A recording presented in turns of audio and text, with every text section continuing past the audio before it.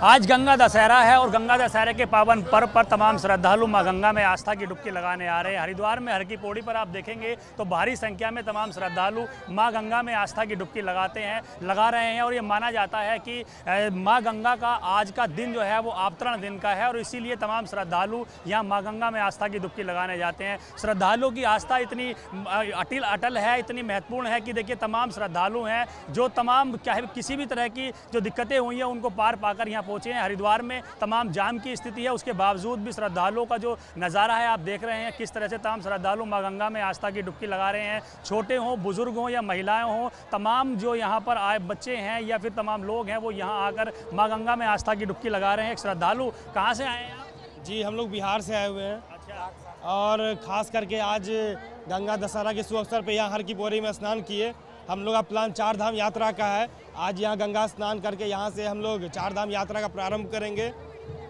आप भी इन्हीं के साथ हाँ? हाँ ये मेरा हाँ गंगा में स्नान करके आगे यात्रा में जा रहे हैं। आगे यात्रा में जा रहे हैं। अच्छा तो कितना महत्व आज मान रहे हैं गंगा में? आज कितना अच्छा आज जो है गंगा दशहरा का दिन तो बहुत शुभ होता है हिंदू धर्म में और गंगा महारानी के लिए भी है। हम लोग इसलिए आज का दिन का चुनाव किए। जो गंगा दशहरा के दिन जाकर के स्नान करना है वहाँ से चार धाम यात्रा के लिए प्रस्थान करेंगे। यात्रा पे जा रहे हैं हाँ यात्रा पे जा रहे हैं। हाँ यात्रा पे जा रहे हैं। बहुत सारे लोग हैं बहुत बहुत हम लोग का बहुत ग्रुप है।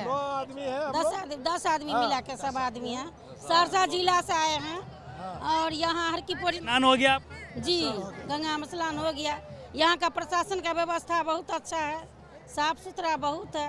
अब हम लोग हरिद्वार के लिए, हरिद्वार से हम लोग वहाँ के लिए प्रस्थान करेंगे, केदारनाथ के लिए।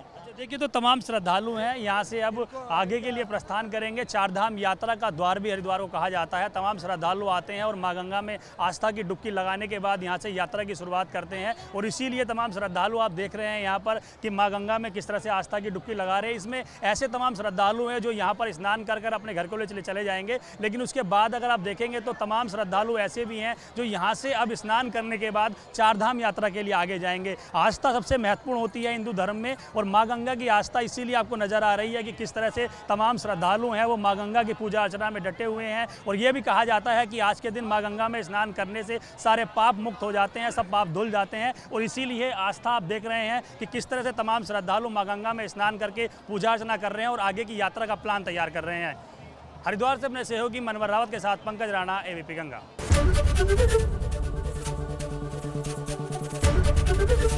एबीपी गंगा खबर आपकी जुबा आपकी।